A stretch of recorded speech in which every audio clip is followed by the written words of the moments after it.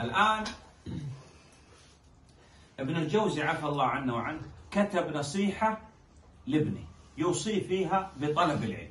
ابن جوزي رحمه الله wrote, wrote an advice for his son to seek knowledge. وأطال في هذه النصيحة كتب كتابة طويلة. And he wrote a long long نصيحة. ثم قال لابنه وألخص لك هذه النصيحة الطويلة في كلمتين. And then he said I will summarize this whole long نصيحة in two words. واتقوا الله Fear Allah ويعلمكم الله and Allah subhanahu wa ta'ala will teach you. يعني عندما تتقي الله سبحانه وتعالى الله سبحانه وتعالى يفتح لك أبواب العلم When you fear Allah subhanahu wa ta'ala, Allah will open the doors of knowledge for you. في ترجمة العلماء الأئمة In the biographies of the great ulama, الإمام أحمد مثلا رحمه الله for example, Imam Ahmad rahimahullah, إيش يكتب what did he write? في ترجمة أحمد رحمه What was الله written in his biography? العابد The worshipper, الزاهد the, العامل the, the one who acts upon his لا knowledge, يريد الدنيا who does not want the dunya. لماذا؟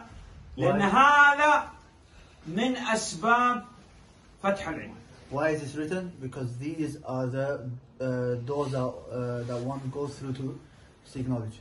الآن أنت تقول للعوام لا الأفضل قيام الليل Don't say to everyone that better for you is staying up night, توتر قبل أن تنام أحوط to pray better before you sleep, والأفضل تؤخر إلى قبل الفجر ثلث الليل الآخر and it's best for you to delay until the last third of the night. السنة تصوم ثلاثة أيام من كل شهر The sunnah is to uh, fast three days every month.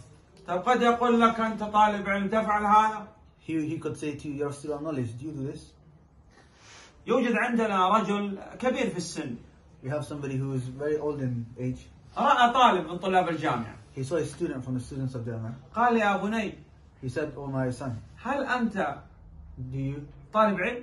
are you a student of knowledge? قال نعم طالب علم He said, yeah, I'm a student of knowledge. معي بطاقة عندي طاقة طلب عندي قال لك اللاتيني قال يا يا ولدي لا يظهر عليك طلب العلم He said, oh my son, the signs of knowledge are not apparent upon you. قال لماذا؟ He said, why? قال لا أراك في الصف الأول. I do not see you in the first صف. لا أراك في الجماعة في الصفوف الأولى، لماذا أراك متأخر؟ Why do I only see you at the back and not in the first صفوف؟ إذا طالب العلم لابد العمل أهم أحيانا يكون من التعلم For a student of knowledge, sometimes acting upon that knowledge is more important than learning. لأن أول من تسعر بهم النار بصلاة السلام عالم تعلم العلم ولم يعمل به Because the- from the first people who will be thrown into the hellfire is the scholar who does not act upon his knowledge. لابد تعمل بعلمك So you have to act upon that knowledge that you learn. تطبق Act upon it. نعم Implement.